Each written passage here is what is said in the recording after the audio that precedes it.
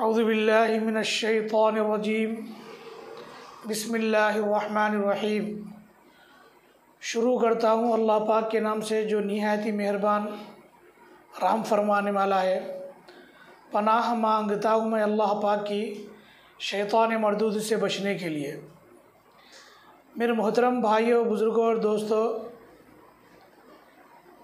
माशाल्लाह से आप लोग बहुत ज़्यादा क्वांटिटी में हमारे वीडियो को देख रहे हैं। इसी तरीके से आप देखते रहिए और आगे बढ़ाते रहिए। जो लोग हमारा चैनल सब्सक्राइब नहीं किए सब्सक्राइब कर लीजिए और बेल आइकन को दबाइए और शेयर कीजिए। और बहुत सारे लोग हमको आके मिल रहे हैं हमारा वीडियो मिलने से। हो सकता है कि आप ही लोगों में से कोई शेयर किया होगा जिसकी ज़िंदगी के लिए आपको ज़िंदगी सही ठीक होने के लिए वो दुआएँ भी देंगे आपको। पता नहीं किसका वीडियो किस तक पहुँचे और किसको उसका अजर मिले।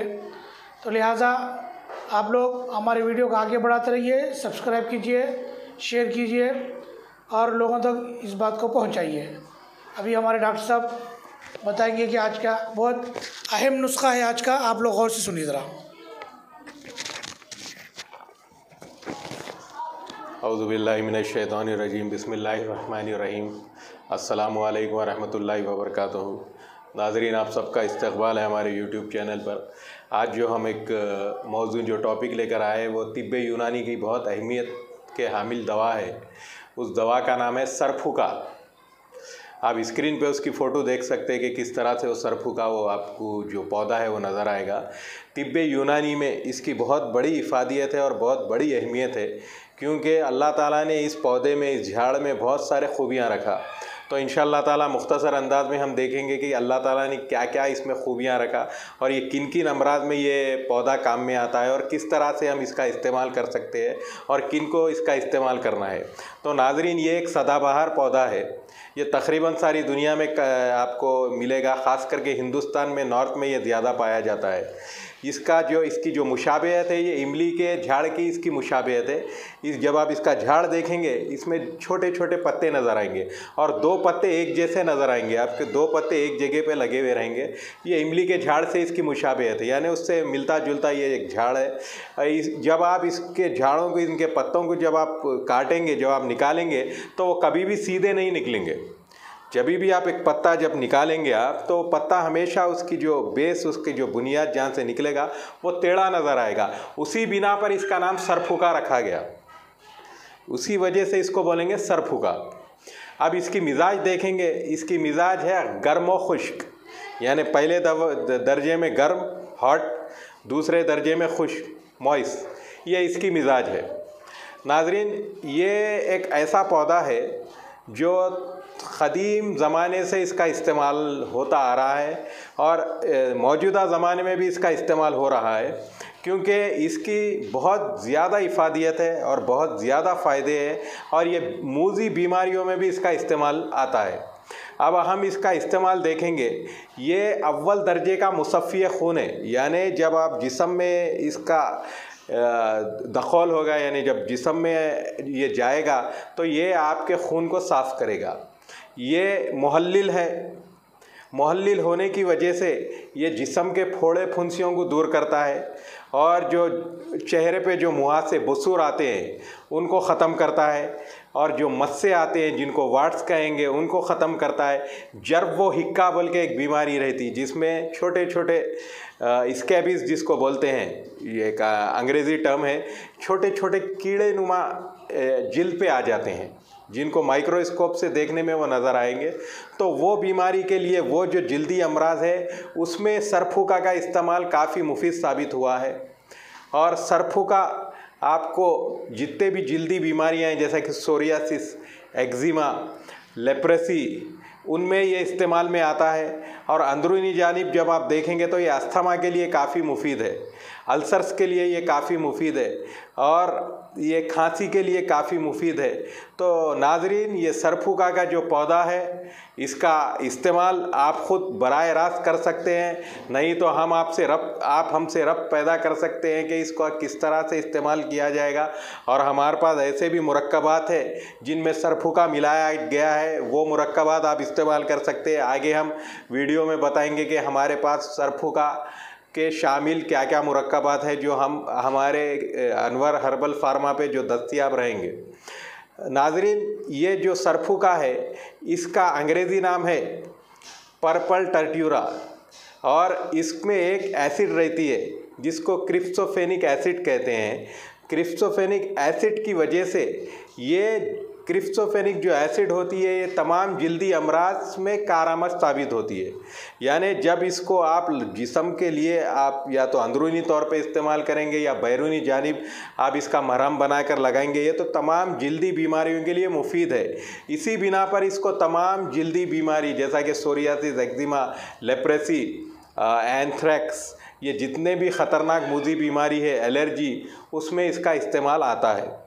अब इसका इस्तेमाल करने का तरीक़ा। आप या तो ये पूरा पौधा दवान इस्तेमाल होता है, जड़ से लेके इसकी पोस्ट इसके पत्ते, इसके फूल और इसके पत्तों का कलर बनफशी कलर के रहते हैं। यानी बैगनी कलर के इसके आपको फूल नज़र आएँगे। पत्ते तो सब्ज़ रहेंगे और फूल वायलेट जिसको बोलेंगे, बनफशी कलर। यानी बैगनी कलर से मिलते हुए पर्पल कलर में रहेंगे।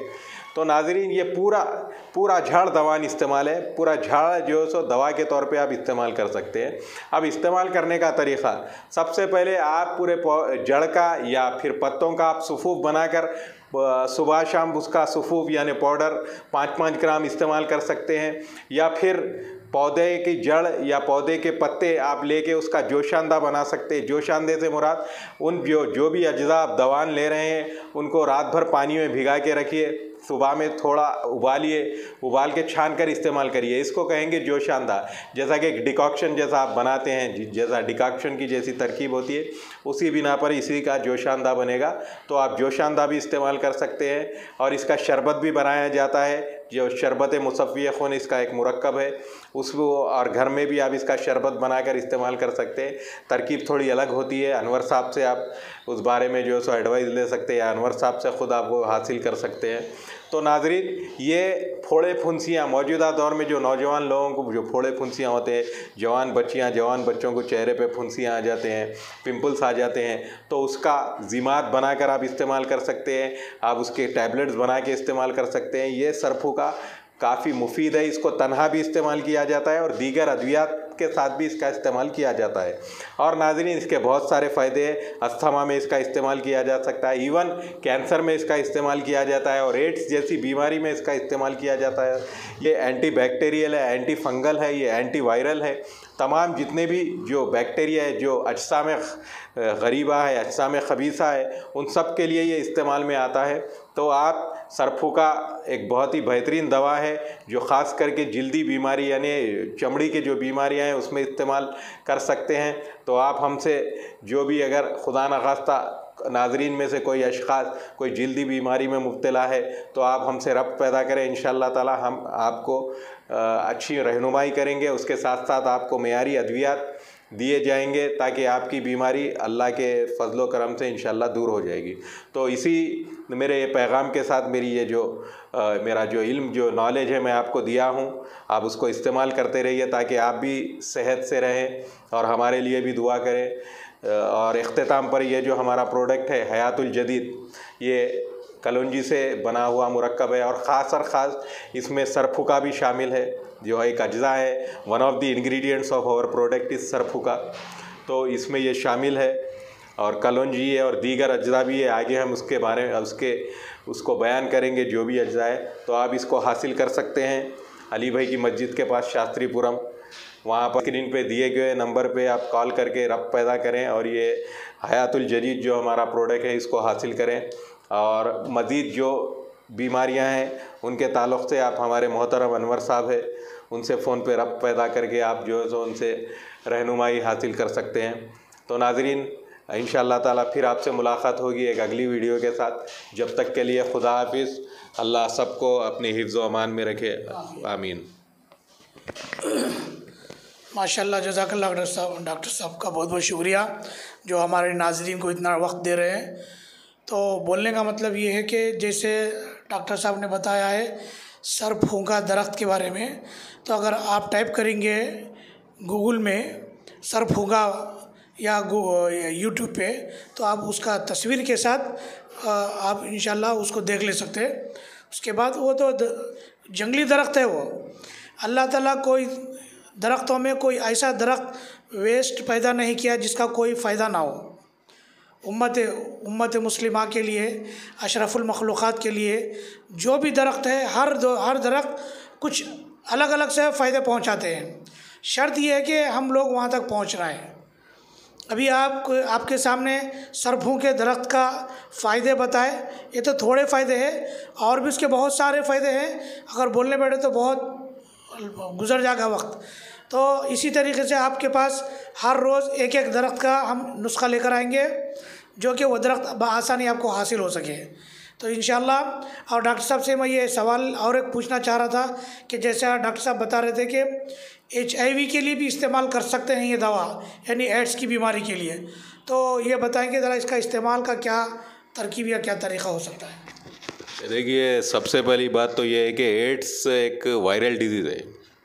H I V AIDS acquired immunodeficiency syndrome बोल के ये एक बीमारी होती है और इसका पॉजिटिव जो ऑर्गेनिज़म है वो एच आई वी ऑर्गेनिज्म है ह्यूमन इम्यूनो डिफिशेंसी वायरस तो इसमें क्या होता है कि ये जो वायरस जब जिसम में दाखिल होता है तो इन्हें ये वायरस जो सो जिस, जिन अशखास में, जिन अहबाब में दाखिल हुआ, उनमें उनके इम्यून सिस्टम को तबाह और बर्बाद कर देता है।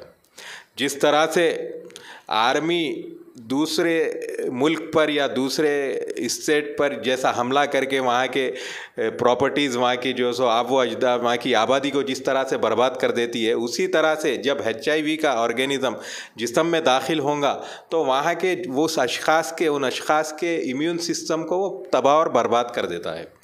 तबाह और बर्बाद कर देने से क्या होता है, जब इम्यून सिस्टम जब ख़त्म हो जाएँगी तो वो इंसान एकदम नाकारा हो जाएगा। यानी बुखार आता है, आप देखेंगे it is our common experience when a person is suffering from fever cold और cough it's a common experience and I have seen in my experience many cases I have seen within two और three days दो disease will be resolve automatically यानी automatic वो बीमारियाँ ख़त्म हो जाते हैं without taking any medicine why it's happening ये क्यों हो रहा है? वो इसलिए हो रहा है कि हमारे जिसम में, हमारी इम्यून सिस्टम जो क़वत मुदब्बिरा बदन है, वो बहुत ही स्ट्रांग रहती है।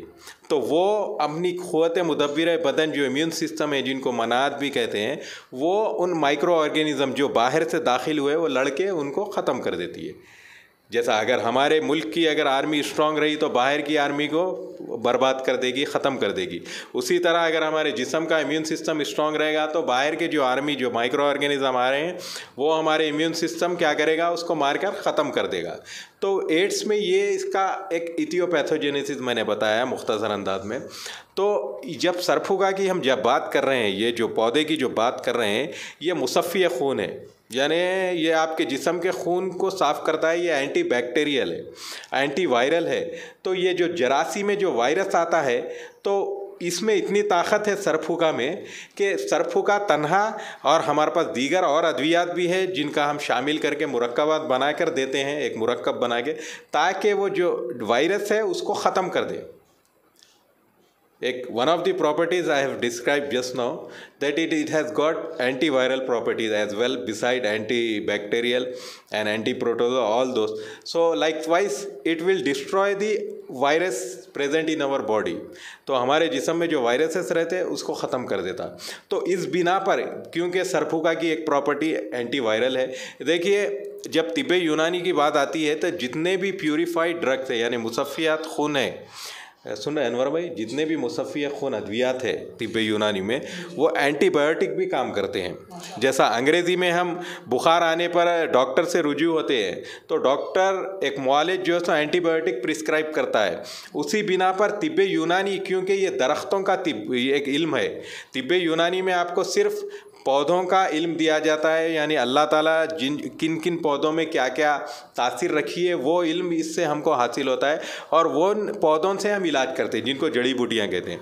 तो तिब्ब यूनानी में कोई एंटीबायोटिक होती है तो जितने भी मुसफ़ियात है, जितने भी खून को साफ़ करने वाले अद्वियात है, वो एंटीबायोटिक, यानी जरासीम कश दवाएँ जिनको उर्दू में कहेंगे, एंटीबायोटिक के जैसा काम करते हैं, जिसमें सरफुका है, मुंदी है उजबा है, शायत्रा है, उससे खुदूस है and there are many more drugs this are this some of the drugs I have taken the name of this drugs तो ये चुनिंदा चुनिंदा ड्रग्स है, जो मुसफ़ी खून के साथ साथ एक एंटीबायोटिक एंटी वायरल और एंटी वायरस के तौर पर एक्ट करते हैं, यानी काम करते हैं। तो इसी बुनियाद पर ये एड्स में भी काम में आता है। दीगर अद्वियात है, ऐसा ज़रूरी नहीं है कि हमने बयान किया कि एड्स के लिए तो नाजरीन आप इसका जो सो तजुर्बा करें, ऐसा नहीं, आप हमसे रब पैदा करें। आप, अनवर साहब से कुछ डाउट है तो उनसे पूछ सकते कि भाई फ़लाँ मर्ज है। तो हम फिर उसके बारे में डिस्कस करेंगे, करके कौन सी अद्वियात जो सो दिए जाएँगे उनको मिजाज के अतबार से, क्योंकि बोलते तिब्ब यूनानी में मिजाज के अतबार से दवा दी जाती है। चार किस्म की मिजाज होती है, बलगमी, सौदवी, सफ़रवी, दमवी। वो हिसाब से मिजाज देख करके आपको जो है तो दवा दी जाती है। इन ताला हमारे अगले वीडियोज़ में हम मिजाज के ताल्लुक़ से भी जो है सो तस्करा करेंगे कि मेरी मिजाज क्या हो सकती है, अनवर साहब की मिजाज क्या क्या हो सकती है। और नाजरीन, आप सब की मिजाज क्या हो सकती है? जब हम बयान करेंगे तो आप अपना मुहासबा कर लेंगे कि भाई हमारी मिजाज दमवी है, हमारी बलगमी है, हमारी सफ़रवी तो वो हिसाब से हम इन आगे बयान करेंगे। और मज़ीद तफसीत के लिए आप हमसे रफ़ पैदा करेंगे इन खुदा माशाल्लाह जजाकल्ला डॉक्टर साहब, खुलासा करने का। जैसे आप डॉक्टर साहब बता रहे थे कि अभी जो भी पेशेंट, यानी आप इसका इस्तेमाल कोई भी चीज़ हम लोग नुस्खा बता रहे हैं, एक हद तक आप इस्तेमाल कीजिए। मज़ीद लंबा इस्तेमाल करने से बेहतर है, आप हमसे आके रबता कीजिए, मशवरा कीजिए।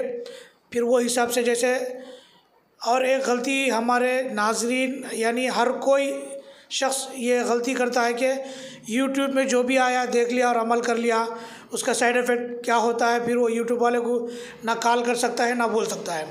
तो लिहाजा मैं चाहता हूँ कि हमारे नाजरन को ये वीडियो आप एंड तक देखें, ख़त्म तक देखें, ताकि आप लोग इसका भरपूर फ़ायदा उठा सकें। कोई भी चीज़ यूट्यूब में अगर आप देख रहे हैं या फेसबुक पे देख रहे हैं कोई चीज़ का नुस्खा तो आप वक्त या एक हफ़्ता, दो हफ़्ते इस्तेमाल कीजिए, लंबा अर्सा इस्तेमाल करना आपके लिए ठीक नहीं है, क्योंकि कुछ उसके गलत असरात हो गए तो फिर आप भागते फिरेंगे इधर उधर। तो लिहाजा आपके बस्ती के या महल्ले के या शहर के कोई भी तिब जानने वाले हकीम हो या आयुर्वेदिक डॉक्टर हो या कोई जो है ना आपको B E M S doctor हो, जो भी ऐसे डॉक्टर्स हो, वहाँ जाके आप मशवरा करके आप अपनी दवा का इस्तेमाल कर सकते हैं। और डॉक्टर्स का आपको कांटेक्ट करना बहुत ज़रूरी है और उनसे मिलना भी ज़रूरी है।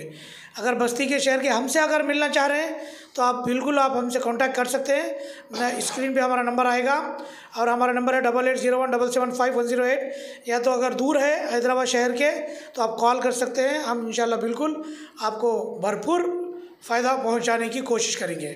वालकम वरहमल वर्का